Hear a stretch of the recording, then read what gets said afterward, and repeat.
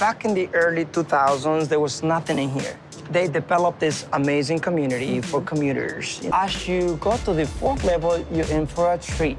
So. All right. Oh, this is nice. Okay, so the den. So you're saying this is nice with the French doors. It is. And like you said, it can either be den, office, Yeah. or bedroom. So let's go up to the, I guess it would be the main level. The main level. Let's do it. Don't forget this half, Half bath right here, nice. which is convenient. It's a nice living space. Open concept. Yeah. You know what's nice when you have an end unit like this? All the windows. Yeah, that's so a that, total plus. Because if you didn't have those, it still would be great, but, But this still, adds so this much really more. Really does add so much extra natural light. And I know this is one of your favorites. Yeah, I do like the Moroccan tile, uh, and it's glass, which is really neat Mm-hmm. Yeah, too. yeah. So we flow right into the dining room, And you know what I like best about it?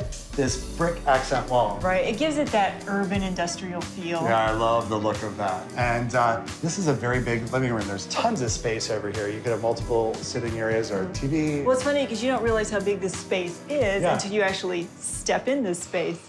Shall we check out the next level? yeah, that was a nice level. All right, Okay. third level. So this must be the owner's bedroom. And it's nice because this is a king size bed. Yeah. And you've got plenty of room for a dresser and a little uh, seating bench. And This is the ensuite definitely bathroom. the owner's bathroom, big Okay. bathroom.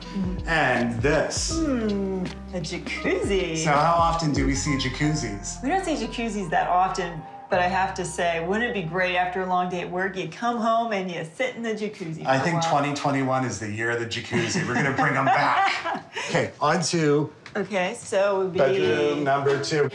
And you know, I'm gonna say this is the kids' room. How'd you figure that one out? Uh, again, definitely cute for a kid's bedroom. A really good sized room, Mm-hmm. the natural light in the windows. More windows than a main bedroom and a nice. I would choose this bedroom. Oh, and this is great. Oh, it's got a yeah. bathtub. This is perfect for the kids' room. And don't you have that same duck laundry basket? Um, no, I mean maybe I, I don't know. I've never seen that before.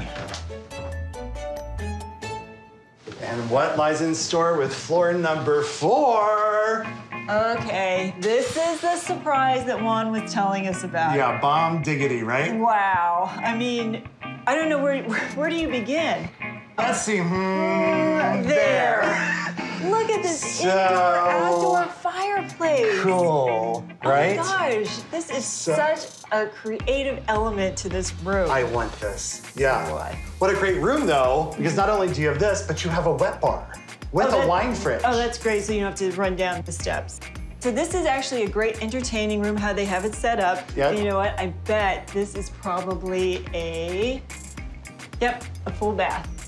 With this, a tub. This would be my suite. with the fireplace, and you know, you could change that wet bar into a coffee bar. Oh my- You yeah, could have a waffle yeah. station where you could make waffles all Yeah, day. yeah. And Keep those ideas I've rolling. got Like, other hey, you breakfast know, bar great, ideas. Great, let's let's go out to the deck though and check this out. okay. Oh, look at this. It was beautiful. Wow. This patio space, it's big too. Yeah, it's very nice. It's got a good view.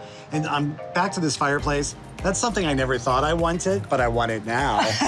Hey, there you are. And there he is. How was that tour? Really, Great a tour. really great tour. Very mm-hmm. nice place. Awesome. Nice mm-hmm. townhome. Yeah. Let me do a little summary for you. It's four levels, mm-hmm. four bedrooms, three and a half bath, Yes. two car garage, and unit, which is, you know, very desirable. Right. With a nice view. Nice view, one of the largest models, and obviously lovely oh, fireplace, wet bar, Right.